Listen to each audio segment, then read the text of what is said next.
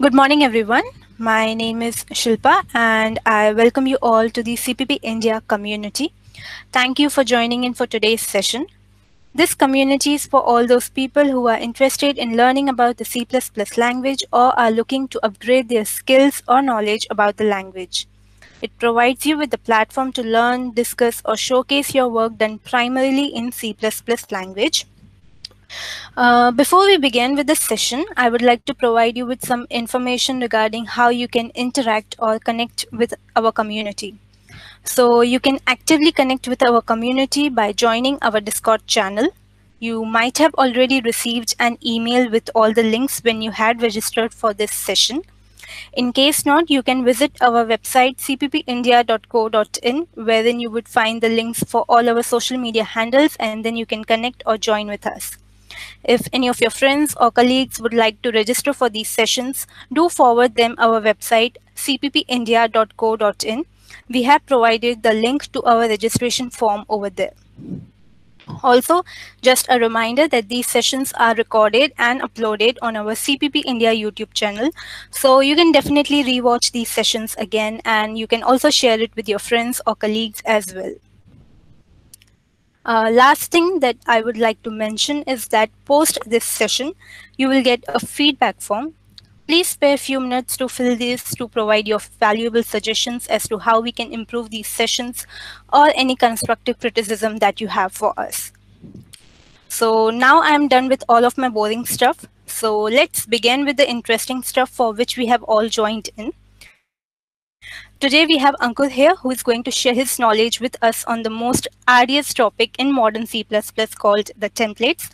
He is currently working as an architect at EXFO and has more than 18 years of experience. I hope you all are as excited as I am for this session. So without any further ado, let me hand over to Ankur. Ankur, all yours. Thank you, I'll just stop presenting.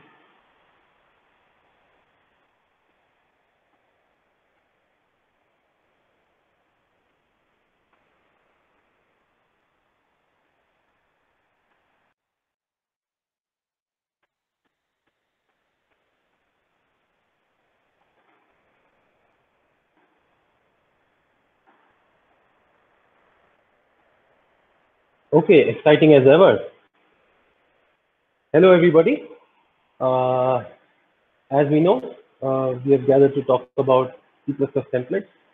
And uh, this is my take on C++ templates uh, based on real examples. Because what I see around uh, is people have a, a bit of a struggle with dealing with templates. And they usually don't, uh, you know, they try to keep a distance from templates. They don't try to try to venture into template territory. Okay, so uh, uh, I, I, want to make it easy for uh, those who have uh, apprehension. Plus, I want to also uh, uh, keep value for those who know a bit about templates also. So this is easing into C++ templates, part one, of course.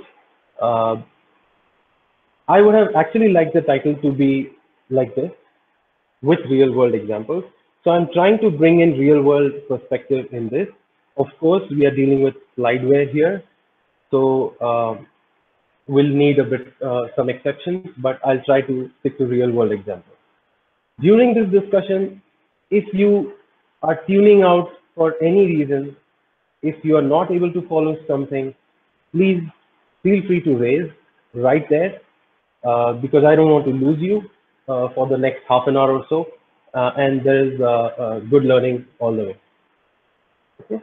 So, and the reason I'm calling it as easing is we'll start with what we know and then learn into and get into templates. So this is the other alternate title which I would have thought of, which I didn't put, C++ templates for those who do not need them. I know many people who who just would keep away from that. And if you're one of them, you are at the right place. I hope I'm able to tell you a thing or two about templates. Let's dive in. Okay. So first of all, I'll, I'll just like a bit of an input from you guys. from all the attendees here, I want to know from you what you think of when you see templates. At this point, can I just request you to go to this web page? It's a quick Uh, half a minute, one minute thing. Please go to menti.com, type in that code, and you would be led to a screen which looks like this, where you can put what you think about. You can write whether you stay away from it and what your reasons are, what you like about it, whatever you want. So can I just request you to do that? And I'll be able to see whatever you write uh, live here. So I'll just switch my screen. Uh, please go to menti.com and use the code 6728411. And we have three people. Okay. Function, difficult, of course, strenuous effort, hard to debug. Generic programming comes up. Okay, generic function, compile time, complex errors, of course. Pass data type as param. Okay, good. Overloading, class, compile time. Very interesting. You can you can submit multiple times, but of course, Uh, add new points.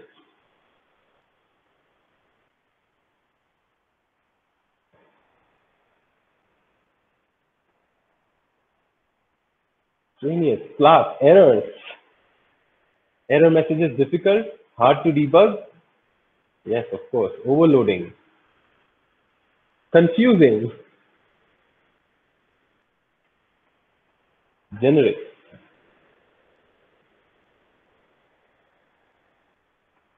I'll just give it a minute. Please, guys, uh, those who have not yet submitted, please go go there and just submit uh, your thought on this.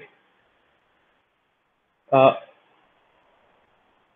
meanwhile, okay, this is not fitting the way. Uh, I'll just introduce myself uh, a bit, won't bore you.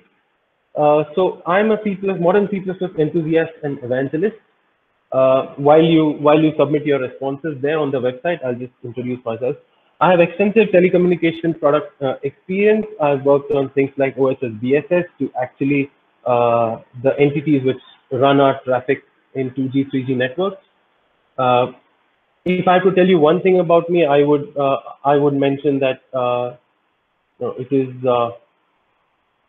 that I aim for correct by construction implementation. If you know what it means, perfect. If you don't know, I would like to you I would suggest you go back and just find out what it means, or we can have a discussion later sometime about this. I'm an architect at EXFO. Uh, at CPPCon 2020, uh, I had presented uh, a lightning talk, which is a five minute one. So I tried to cover why you should use C++ for large scale systems. Currently, I'm actively working on some cloud native stuff, CI/CD improvements, security features, and real-time packet streaming features in our products. That's my website, and you can find me on uh, GitHub, LinkedIn, Twitter. Specific to uh, this session, my friends claim that I cannot write code without using templates. And I absolutely appreciate and get the concerns of C and C++ 98 style programmers. Uh, I know what these are, and uh, I fairly also appreciate what and how templates uh, are good at and how they can help us. So that's the amalgamation in this session. Okay, I'll quickly uh, check the results. So we have 10 responses. Uh, I think uh, so. So the general feel that we are getting is that yes, definitely it is generic programming, overloading, and generic uh, comes up. Readability is an issue. I guess it's presented as an issue. Errors are an issue. Complex errors, error message is difficult. Yes, hard to debug. Okay, we have more responses. Footprint. Interesting. yes, templates can help, can, can really help you have very small footprint. Uh, or is the concern that the binary is bloated? That also could be it, and we'll cover that. Uh, compiler adds code, yes, readability function, uh, strenuous effort. Yeah, that's the session. Uh, tough to make generic, yes. Real life application is what we are looking at here. And so, yeah, I understand that. Errors and difficult. Okay, good. So thank you very much, crowd, for giving a feel of what you think. Yeah, you can keep on submitting. We can come back to this at the end. Uh, although this is part one, there is follow-up and not everything will be covered here. I, uh, I promise I'll cover all of this, but thanks for this.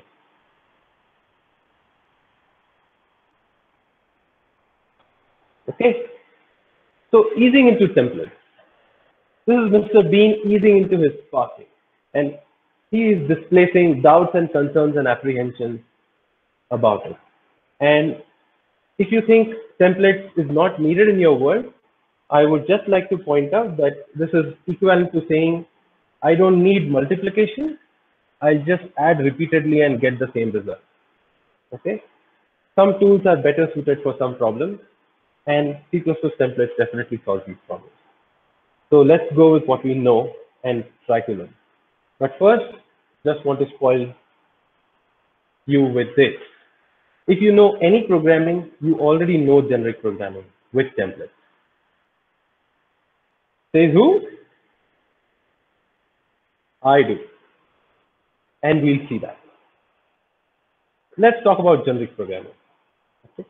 I'm not going to get into bookish definitions, but it is uh, it is what you write.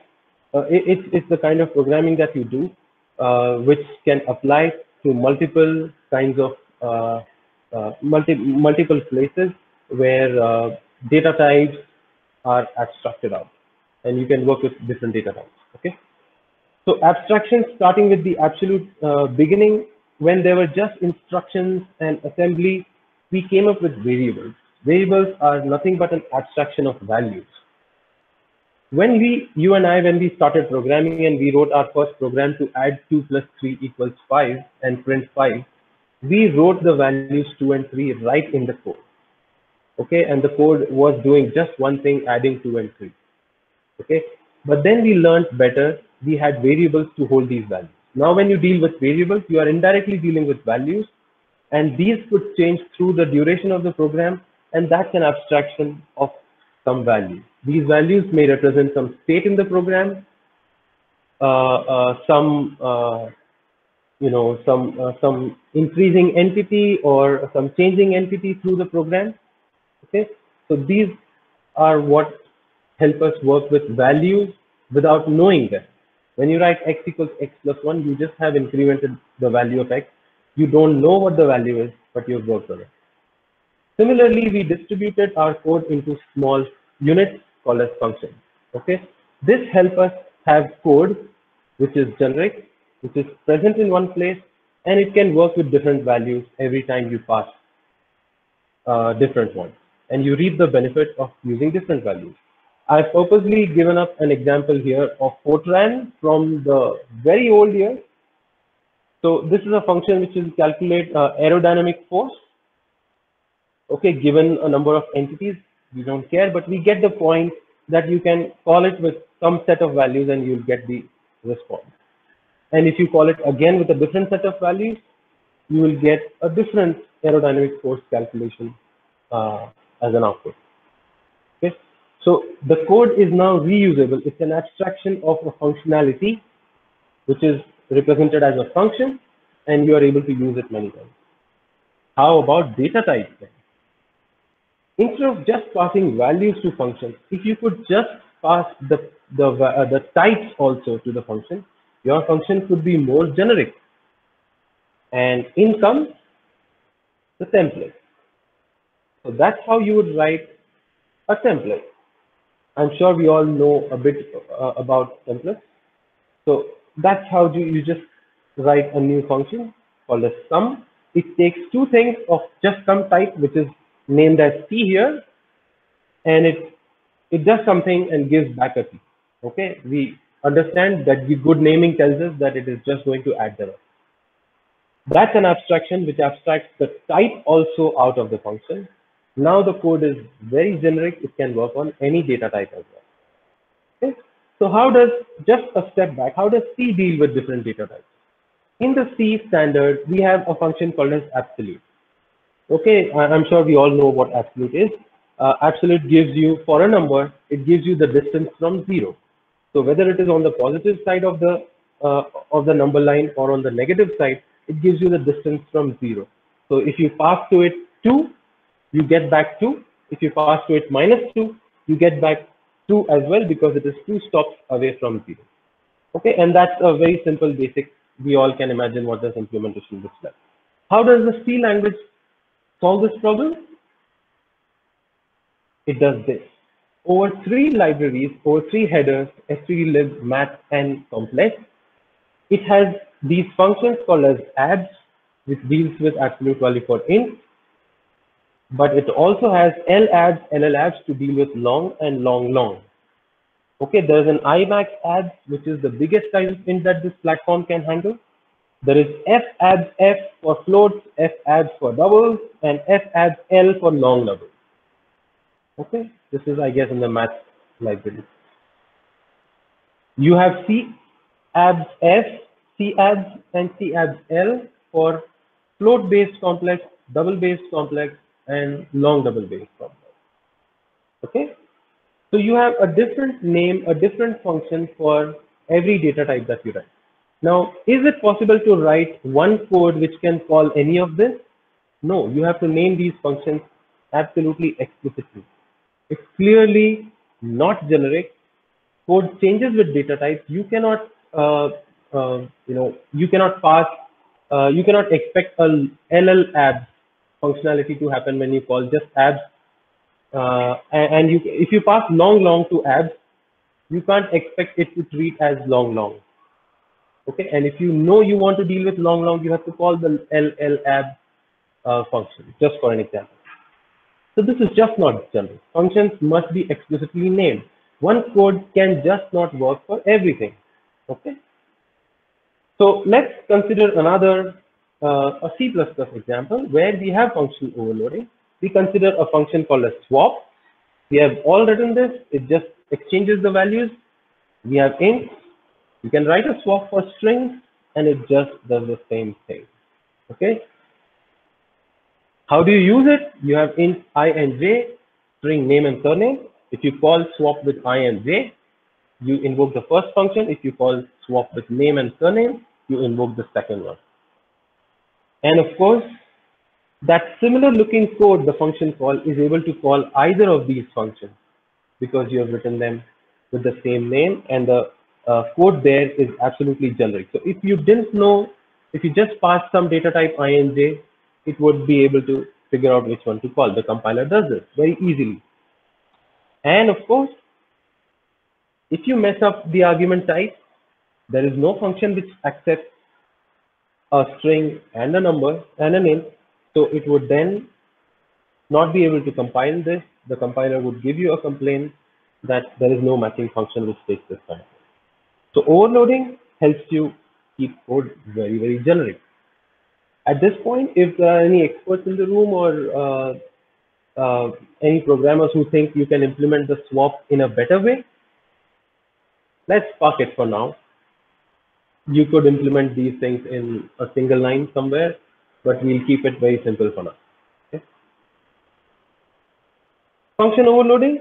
Now let's look at a realistic example, a very similar. So swap was a very library kind of a code uh, what you get in the standard library. It's a utility uh, which you usually have. But if you have uh, professional code at your end, which needs to process a lot of events, you have a function which, which takes in a vector of events. If this template syntax already bothers you, just think of it as a one word data type called as event vector. Okay. So it's just a collection of events which you get and you want to process them all. You go through all of them and process them all one by one. How do you use it? You just get the events vector, maybe from network, and you just call process. This would iterate over all the events which are there in the uh, in the vector and process each one of them. If instead you have a list, so this function takes a list with the same name and it does the similar things on the list. It goes through all of them and processes them one by one. So if you have the code on the right side, which is the usage, list of events you get, let's say from a file, somebody uploaded a batch of events, you read from the file, you get a list of events and you process each one of them just by calling the same function. So you get a hang of it. Now, if you have this in your code, where you know that at initialization time, you have four steps to do, and you, you implement an array which has four steps, load, init, display, and alert, would you be able to call this process function? The answer is no. It really, we all can see it is just the same thing, but it's not callable, it's not handled just because the data type does not match, right? So how do we go about it? We just look at the difference between these two, okay? Only the data types are different. We say, let's take some data type T, but hey, we are in C++. You can't use a symbol without declaring it. So you declare it. You have template type name T, which says to the compiler, there is a type called as T. And I'm going to receive this T by reference in this function. So that you work on that same copy which the person, which the caller has. Okay, so this is then a generic function. We just made that out of the two specializations which would have written by hand otherwise. C is just a container and of course now making it generic, the array call starts working, which you didn't think of before, uh, but it can be a data, data type which somebody in the code somewhere can use and still we have the functionality. And we wrote the same amount of code only once. Generic code can deal with data types never seen before, okay? And it makes implementations more future-ready. This is one of the big reasons to use it. Okay, and of course, please name things better. All I've done in this slide is just change the name to say container. Okay, and you accept the container. This just makes the documentation uh, say what it does. I will remind you, people think templates are only to be named as C and U. That's not the case. You can name them anything. Please use good names. Uh, it helps understanding.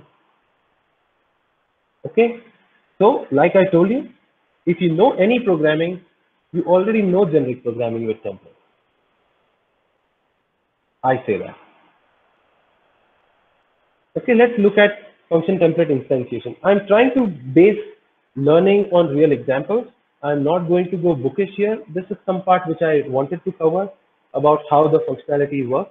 So if you have, now I'll go fast. We have seen this example before. Uh, please interrupt if you have any questions. Okay, uh, so we have function templates. Uh, and, and this is what a function template looks like. It is not a template function. It is not a function. It is a function template. It's like a template which you use to create something else. It is by itself not that thing. For example, you can have molds or you can have templates. Okay. Uh, I had some templates around. I, I forgot to get them for the, uh, for the for the session. But we have all dealt with templates which have circles and rectangles and squares, uh, you know, uh, plastic templates, which we, which we can put on paper. And if we uh, mark the outline, you can create circles and squares, whatever the shapes are. So if I ask you, please color, uh, please color the circle. Can you color it in the template? No. You have to create the circle on paper and you can color that instance of the circle. And that's the point we are making here. This is a function template, and let's look at its instantiation. so when the compiler sees the usage code. So we have a template, given this template, when the compiler sees the usage code, where you have the vector and you're calling it by, uh, by passing the vector, at that point, the compiler finds no function which is matching the signature that you use. It then tries to find any templates which can handle the call that you made. And that's when the compiler discovers that yes, it can try to instantiate this function template using the data type that you passed. In this case, it is a vector of events. At that point, the compiler stamps out a, a, a template function from the function template. It stamps out a template function with a specific data type. Now it has uh, married the type with uh, the instantiation and you have a, a, an actual instance of the template. Uh, sorry, no, you have a, an actual template function. Okay, instantiation occurs when the compiler encounters the usage with a new set of data types. Okay, new template function instances is stamped out. If already instantiated, it is used. So it doesn't create a new template function every time it sees the call. We'll cover this in the next slide. It uses any instantiations which it has done. So again, the same template, but this time if you have a list of events, which we saw before, now it will stamp out a function, uh, a template function from this function template and create the specific instance which deals with this. Okay, then if you see the next uh, invocation with evlist2 and evlist3, the compiler already knows these declarations about these uh, template functions. Compiler tries to find them and will always find them when it sees the lines number two and three uh, and will be able to invoke the same. Okay? So basically the manual tedium of writing each of these uh, implementations for uh, uh, for you know, similar looking data types is we are spared of it thanks to templates. Okay, just one point, every translation unit, when you compile, you create an object file and this roughly can be called as, an, uh, as a translation unit. So every translation unit needs to uh, needs to will have some usage of templates and at the time of usage it will instantiate uh, these template functions. So every translation unit potentially can have any functions which are used, any instantiations uh, from this function template in them. And the way the compiler works is once you instantiated the first instance, it is a compile time optimization. It is just using the same definition for the next or for the second and the third occurrences. Okay, when multiple translation units come, so you have file one dot uh, file 1.o and file 2.o, which both have an instance of uh, process function which deals with a list of events. When you bring them together to form a binary, you will have two of these functions. This uh, is a link time optimization then that the compiler sees that the definitions are absolutely equivalent. That's the ODR, one definition rule. We are not getting technical about it here. But there are similar instances coming from two different object files, but only one is finally kept in the uh, in the binary. And that's the link time optimization. So, hey, we started with writing two functions explicitly. We had two of them in the binary. Now we have two of these stamped out by the template and we have two of them in the binary. The function template itself is just a specification to the compiler. It is nothing in the object file. In the fully uh, formed binary, you will not have the function template. You will just have some instances, which is the template function uh, in the final binary. Okay, and you have one copy of every uh, template function. Okay, of course, just uh, closing the point, if you had that array again, it would stamp out uh, a new instance and you have a specific instance dealing with uh, array of events. Works like a charm. Uh, Ankur, I have a question here. Yes. Yeah, Ankur, so you said, I mean, uh, for example, we have two translation units, right? I mean, so if you have uh, two definitions uh, coming out from the function template instantiation. Uh, so basically you have two functions in, the two translation units, right? So when linker does this optimization and it keeps only one, so uh, is, the, is it something which linker knows it is coming from the template or, uh, or, or, or it is a normal function? Because in the normal function case, what happens, I mean, if you have two same functions into the two translation unit, linker gives you an error, right? Yes, exactly. Yes, exactly. So the compiler is fully aware that it is a template function. It is an instantiation from a template, and so it is able to do that. Okay, so I mean, uh, at yeah. compiler level, there is a distinction whether it is a function template or a normal function. Yes, yes, yes, that's right. And if you have, uh, if you have a hand rolled function, which is also processed and takes uh, uh takes some specific data type, uh, you know, that also can compete with the overload resolution when you pick mm -hmm. and choose functions to call. And you know, uh, a specific function would get a higher priority, would be selected more likely than the uh, than a template function. Okay. So uh, there is a whole range of uh, that. Uh, if you want, we can get into this in in part two, but I'm not going to get into that here. Mm -hmm. All I'm saying is the compiler is fully aware that it is a template uh, function. It is an instantiation, and it is able to eliminate one of them. It is expected to have okay. these duplicates. Okay. Yeah, Hemil has a question. Uh, yeah, I was going to ask if the definition need uh, if we are defining a template in a header, then do we need to uh, uh, say if we are declaring in the template function in a header, do we need to define it in the header or the CPP yeah. file? Yeah, good point. Thank you for pointing out.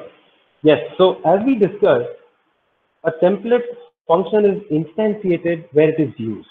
So wherever it is used, the compiler should be able to create an instance of that entire function, which is not only the signature of the function, but also the body. So it should be visible to the uh, to the compiler at the time of use what the body definition of the template is. And so uh, the uh, you know the bodies of these functions also have to be defined in the header. And so we have lots of header only libraries if you have come across. Uh, so there are lots of header only libraries which are heavily templated and they are all using uh, you know having these definitions right in the header. That's why they are fully complete in the header itself. Yeah thank you. Thank you. Good point. Uh, uncle honey has some question i guess. Yeah please go ahead. Hi Ankur Hi, Ankur. Honey here. Hi, okay. Uh, uh, when you talk about that uh, link time optimization, um, I'm not uh, sure you will be talking about this in the next session. If it is okay, that can be done. Uh, but uh, I don't understand how that one copy is maintained and the compiler during runtime, it will be able to process different kinds of data. Could you explain in this session or in the next session? I know it's an advance. Okay, no, no. Yeah, I got it. I got it. so, so uh, when I say one copy, so thanks for pointing it out. When I say one copy, it is not just one instantiation from this uh, function template. It is one instantiation per set of data types. Okay, if I just uh, go back to the previous slide.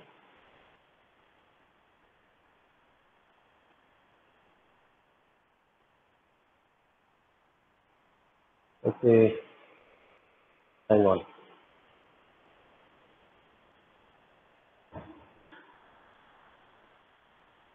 Okay, so uh, it would keep one copy for a set of data types. So if you use this template function by passing a vector of events, you would have one function, uh, one template function called as process in the binary, which is having a specific uh, passed parameter of vector of event. If instead you, uh, if also in the same binary you are using uh, uh, a list of events, you would actually have the list of uh, one more function uh, stamped out from this function template. So you have two functions at this point, one dealing with list of events and one with vector of events uh, that means the your earlier point like if it is already instantiated it will be reused. That means uh, compiler will instantiate every uh, is that is that so? Like i mean compiler will instantiate every template function and during the link time optimization it will take one copy. Is that correct? Uh, yes but I, I still want like to point out maybe uh, i don't know if uh, i've driven home the point. So uh, when we see this kind of a code what we have on the slide right now it's invoking the process with a list of events. And you you will finally you should have one function at least which deals with which is a process function which deals with list of events. Okay? Okay. Hmm. if at the same time in the same binary you have a, an invocation which passes vector of events to it you must have a process function which takes a vector of events. So Clear. finally you have two two instances Okay, while the process of compilation happens, the compiler may have generated eight instances of uh, process function which takes this, and maybe two instances of process function which takes vector. But finally, in the binary, you will have just one which takes vector and only one which takes list. Uh, but there will be two of them because of the usage. okay clear uh, because the other point uh, was little bit contradicting so i thought like Yeah, thank uh, you. so okay I'm sure others will also help. Yeah. Uh, Okay. uh, can I uh, say something? Uh, as far as I know, template functions are only instantiated at the point of use. So if you are taking a vector and a list and you are not using the list function, then the list function will not get instantiated. So you will always have one copy. Yes. Okay, and so we have come this far. Okay, so uh, we can specify the type explicitly or let the compiler deduce. Okay, so realistic, realistically, what should we do? Okay, so uh, consider the following function template. Now I've just changed the template a little. This is back to a utility function, sum of A and B. Okay, and guess the data types that uh, that total will be, and uh, the data types uh, that will be used inside the template. So what's the data type of the first line there? It should be an int. int, right? So you call sum with int and you get back an int out of it. Okay, in this case, Double. double, you pass double and you get back a double. The total two is a double.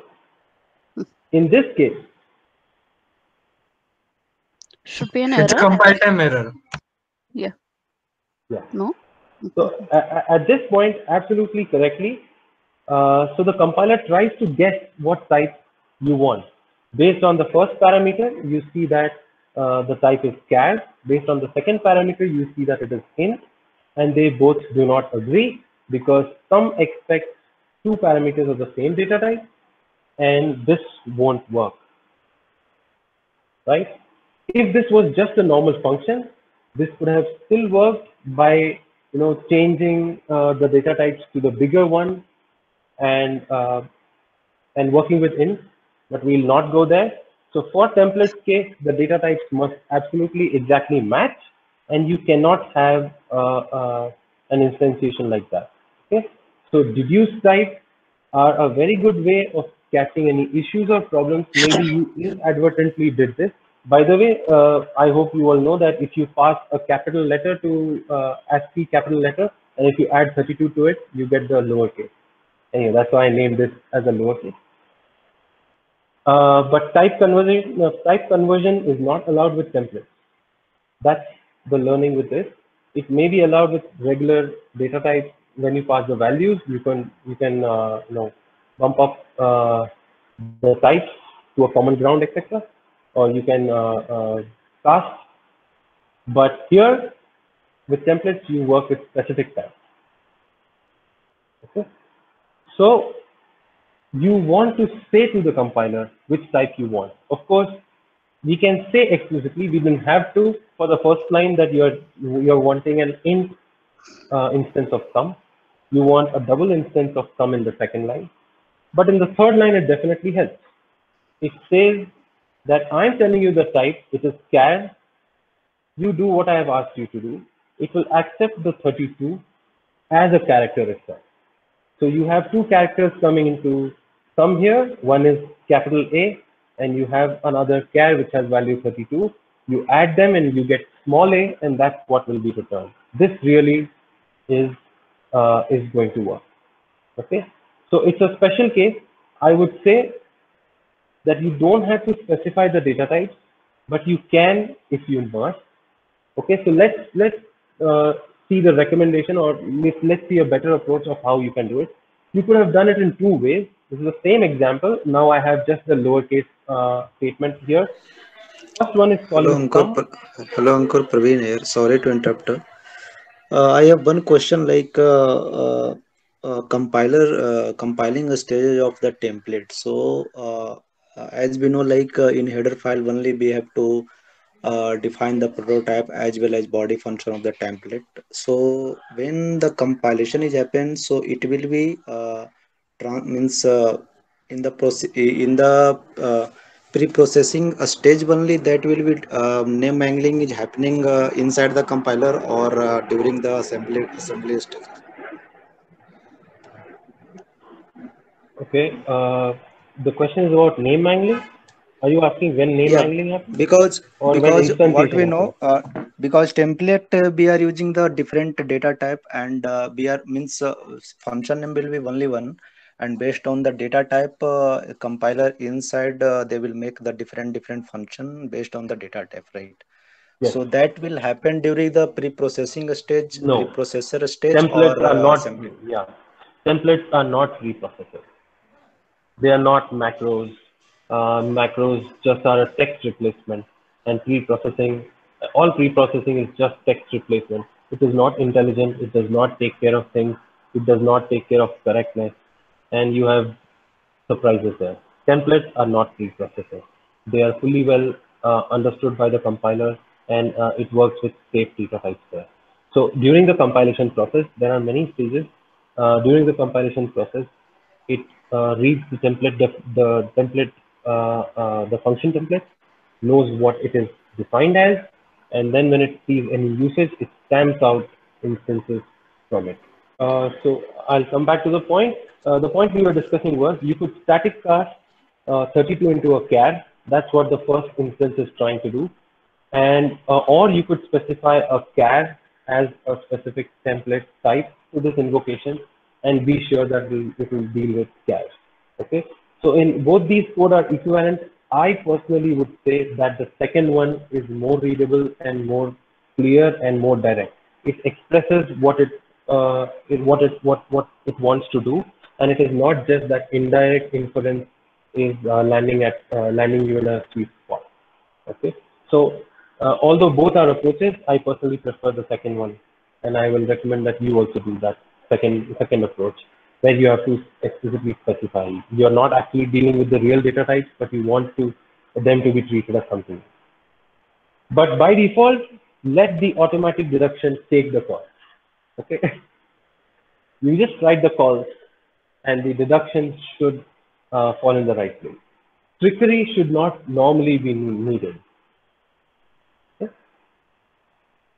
So the compiler will figure it out. You don't have to worry about it. Just like it figured out the overload, which function to call. If you know any programming, you already know generic programming with template. Okay, how about auto? You must have come across that you can use auto as a pass parameter. So if you had this template, we had this on the previous slide.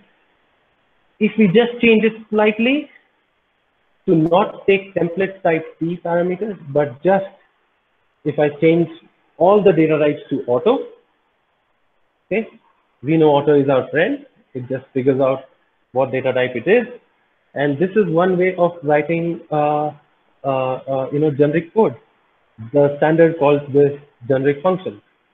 Okay, so any data type that you pass to it, you will be able to, the compiler will figure out and use the right one.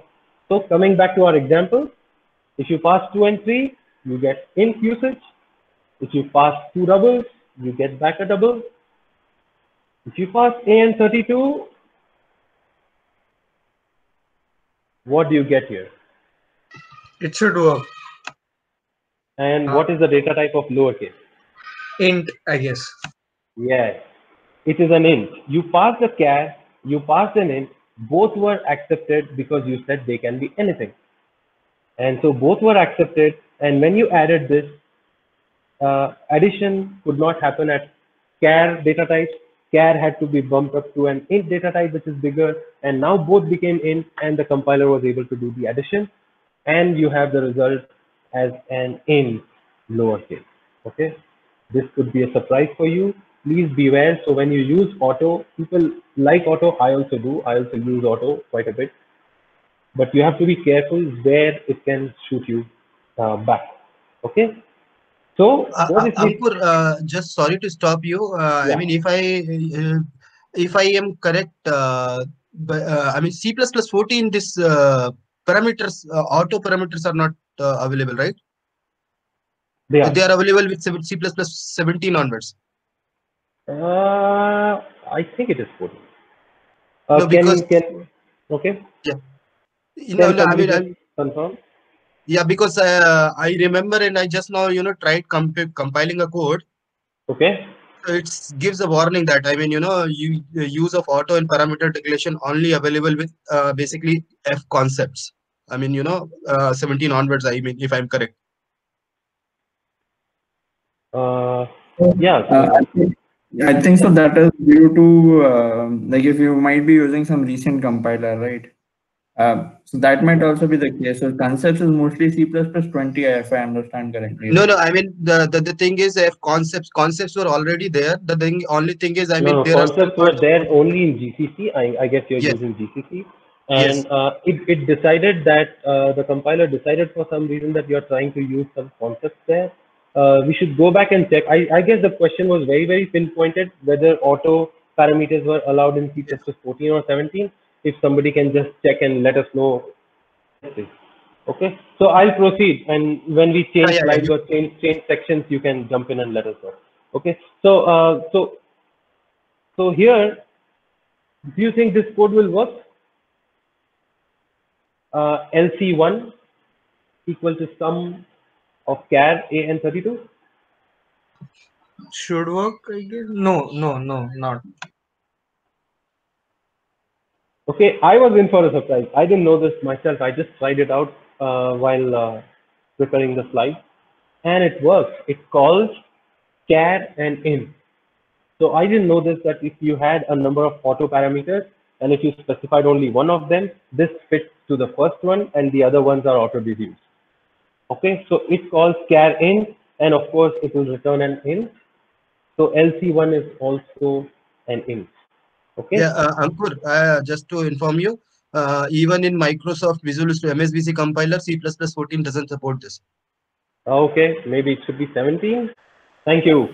So if, if we jump on to the next one, uh, which specifies two characters as the template types, now it is actually invoking char. It is using char for both A and B, and it will give you back a char. Okay. So you can specify explicit types for auto parameters, but I would say, I mean, I didn't know that you could specify just part uh, one of them. So uh, I don't know if many know about this. So better to not have surprises. Either you explicitly specify everything or you don't. But using auto is an option with its own, uh, you know, opportunities of errors. So be careful when you use auto for data types. Okay. Uh, just to uh, use some other examples, if you have this uh, call, can you tell me the data type of the variable CPP20? String. Yes. So if you see the S at the end, it is an std string and it appends.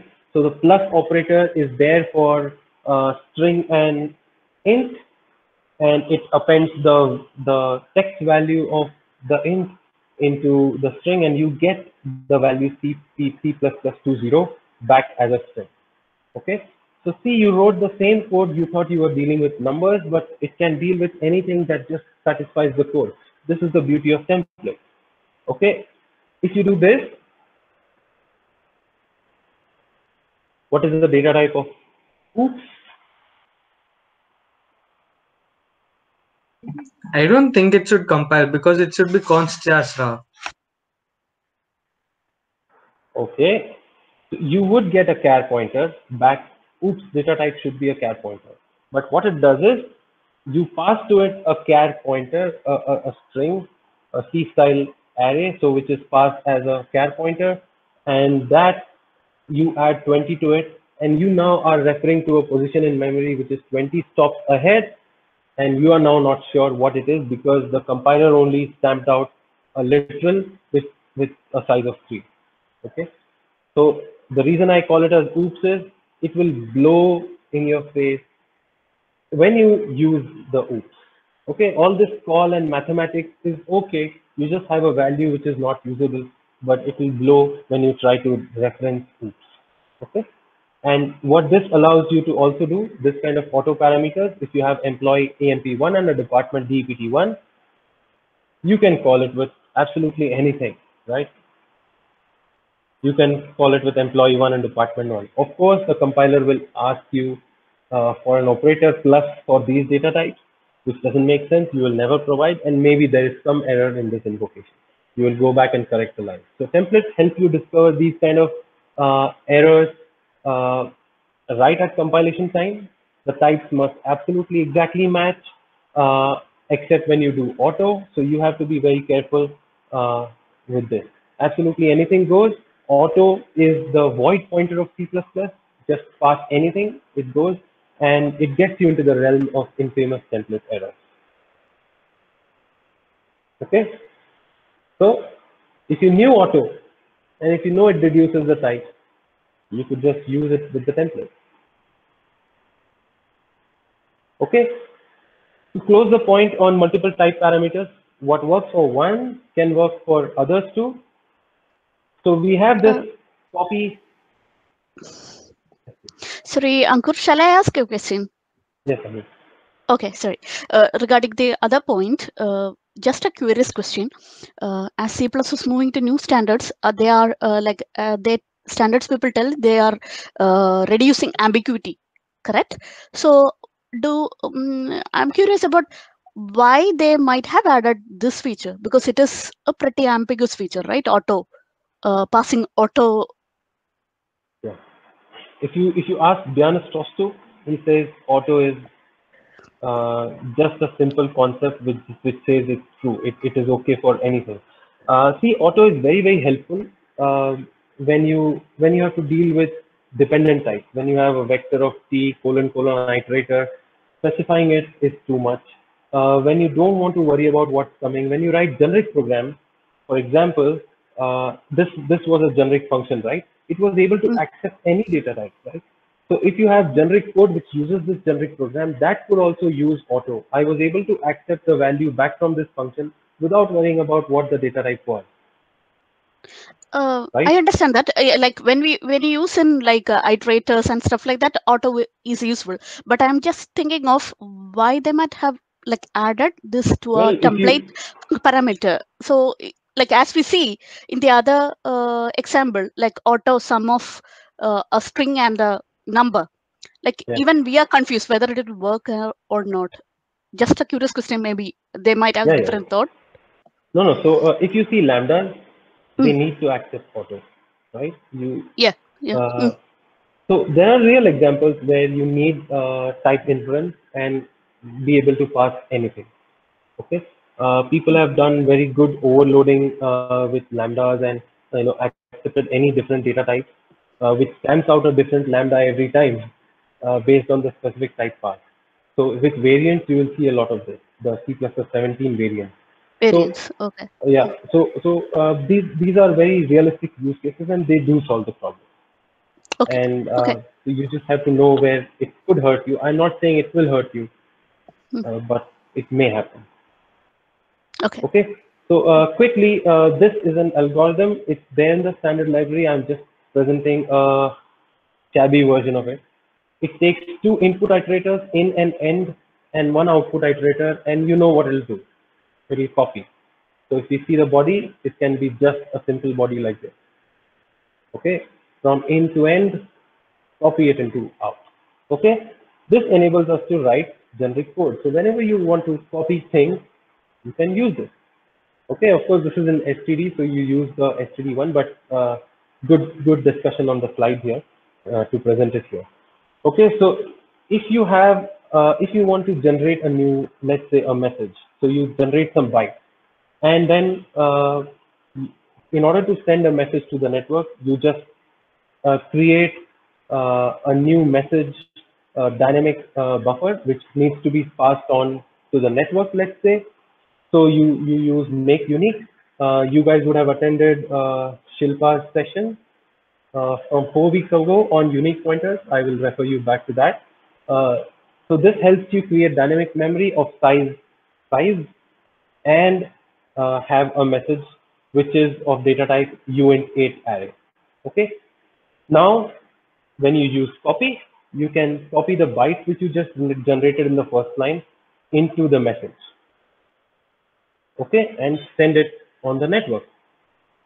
Okay, so here you determine because of the invocation directly, the first data type was uh, vector to uint8 iterator, and the second data type was uh, uint8 pointer, a raw pointer. So as you see, templates can deal with raw uh, data types and primitive data types also, and very, very easily. Okay.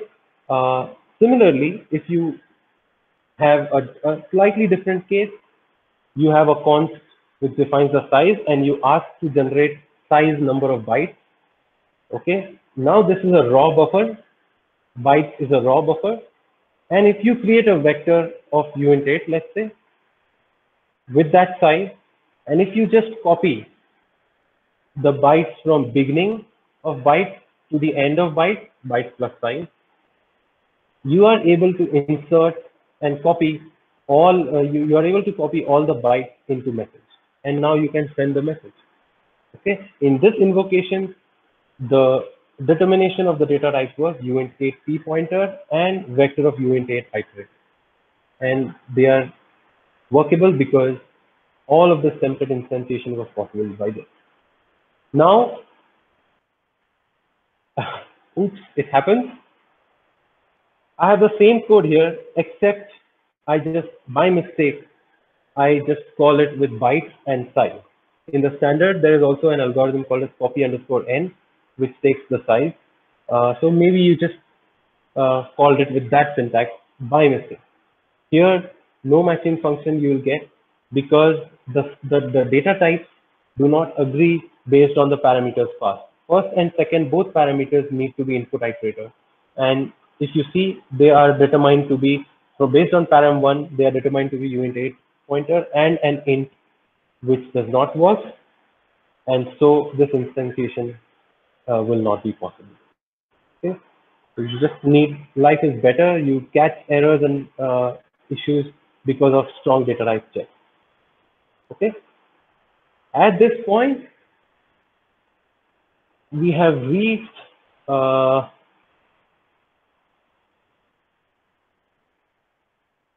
the uh, the end of what I wanted to present. I would just uh, like to go back and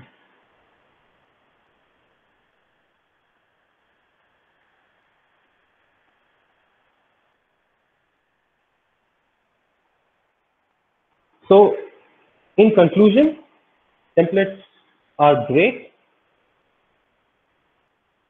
Uh, they are the answers to many of these questions and we'll see more of these in the next part.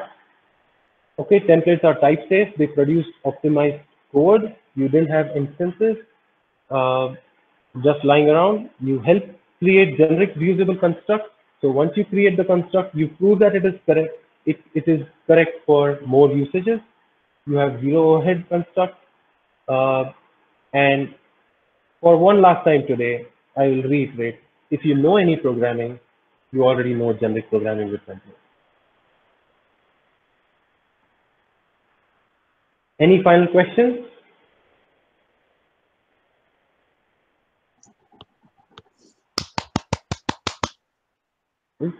Thank you. Okay, if you don't have a question, just want to update on the uh, status of auto. So auto as a parameter is permitted in C++ 14 for lambdas. Uh, it's called a generic lambdas, but not for functions. Uh, Oh, In okay. C++ 17, uh, it is permitted with the restriction for, for a uh, template type, again not in a function. It was intended but uh, not accepted. Then in C++ 20 technical specification of concepts, um, it was broadly written, but then with some restriction, it is accepted in uh, C++ 20 when the concepts are introduced. Oh, well, thank you very much. That's insightful. Yeah, I it works with to- it works with the GCC, uh, but GCC just uh, throws a warning to you uh, that okay, this can be you know uh, if you use pedantic, uh, then it, it just throws an error and it doesn't allow you to comp- uh, compile. Super. Thank you, Mahendra. Mm, I would like to point out that C++ 20 concepts helps you restrict the type of uh, template parameters so that you don't pass the wrong types. Yeah. It's very helpful how templates, how, how concepts can help you. Yeah. So, So, in the just a normal question. I mean, uh, just uh, I don't know, uh, not sure if you are going to cover it into the second, uh, uh, you know, part. Just out of, uh, you know, curiosity, I'm asking this. So we see, I mean, most of the time that when we implement templates, right? I mean, it is uh, uh, we uh, we discuss, right? I mean, we put definition and uh, declaration everything into the dot header file, right? So, what is your opinion on? I mean. Uh, uh, ideally i mean do you do you see somewhere it breaks the concept of or, or the principle of encapsulation what is your opinion i mean what do you think Uh, so if you, if you have a template class, we didn't Uh-huh. get to classes. That was not the Mhm. idea today. We stayed with functions. Uh, uh, so if, if you have a template class, uh, you can very well uh, keep uh, your, uh, you know, the construct very well together. The abstraction could be such that it is not allowing others to use. It's just that the compiler needs to see the definition.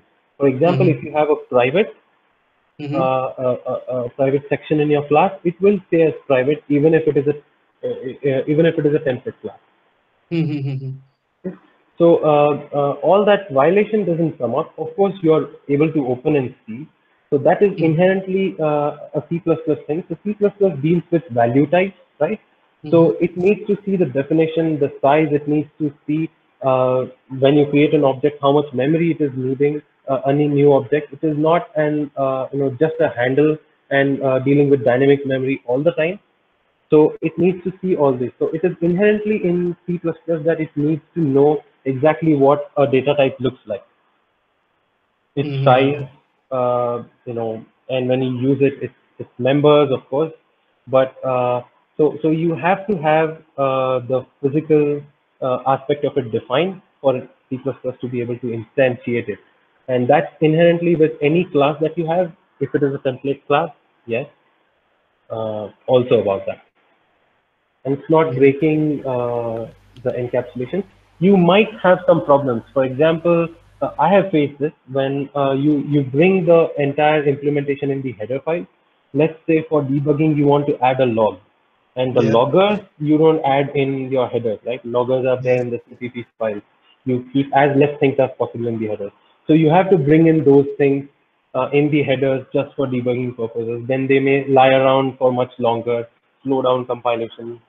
So there are some of these uh, secondary side effects uh, of, of, of this. So you have some dependent types. You you are internally invoking some type which is not included in the header, but the CPP directly includes it and uses it. But if you have a template, you have to bring that also in the header. That definitely adds to uh, some of this pain, and I I I- understand that. Uh, yeah so that's the way. That's the cost of control that you get. Mm, yeah. okay somehow i i feel i mean somehow i mean you know this this probably i don't know may, may, might get corrected because i mean when you develop a library or something like that right i mean your complete implementation is out only type is not known right but at least i mean uh, i'm not sure i mean this was just my opinion Uh, Yeah, so we have header only libraries. I agree with you.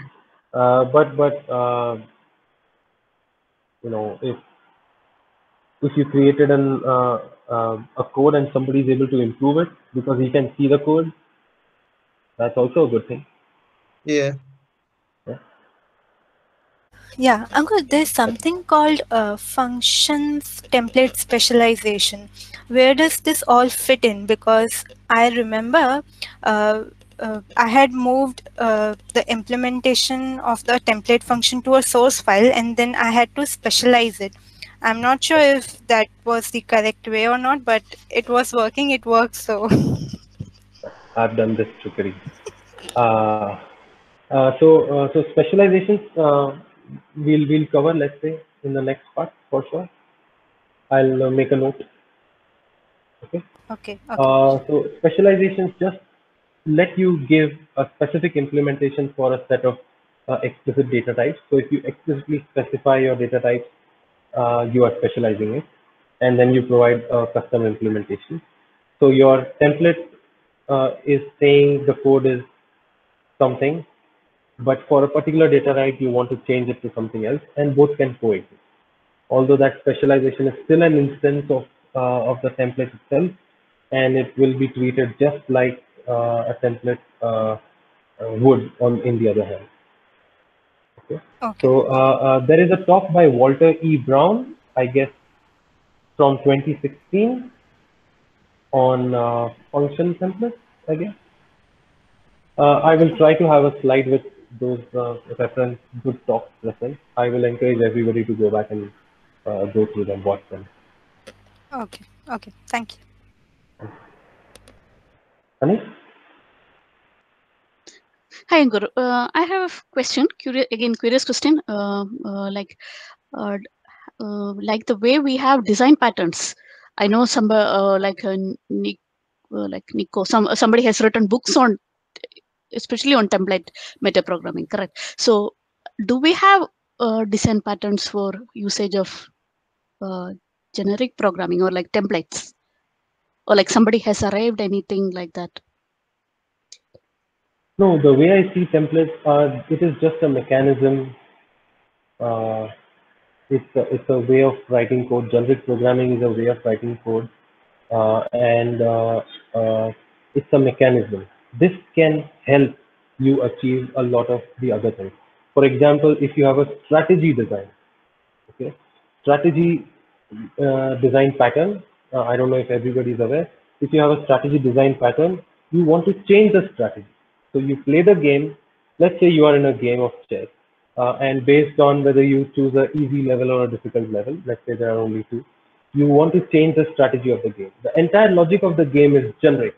It deals with just let's say a, a, a game plan, okay, and then based on the game plan, it checks with the game plan what is the next move. Now this game plan is exactly what you want to change in the strategy. You don't want to change the board, not the pieces, not the rules, not the movement, not the rules to judge whether the game is finished or not, uh, not the point system, but you just want to change the strategy how the game how the uh, game plays. Okay, and this is uh, uh, something that you want to change. It is actually a customization form, and you want to change it. So if you pass that type as a template, if you make it a template, suppose you pass an easy game, so it move it, it checks the game only three moves ahead and tries to play something. As against a hard level which checks you know 20 moves ahead uh, and tries to see a, a, a better move. So all the code will just be the same. It will just check this game strategy or what did I say? A game plan. What is the next move? And the game plan is thinking 10 levels or 5 levels or 100 levels deep in order to decide the next move. And that is how you can achieve a generic code which does everything the same by just changing the data type of this game plan object or game plan data type from easy to hard, you are able to achieve a different outcome. So this Uh, is what technology. Okay, makes Uh, sense. sorry to interrupt you, interrupt. Yeah.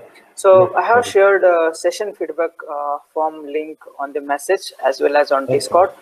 Yeah, so please go ahead. Uh, feel uh, free to write that what you are expecting, uh, what uh, what went right, what went wrong. so that in the next session we can improve on and uh, get better.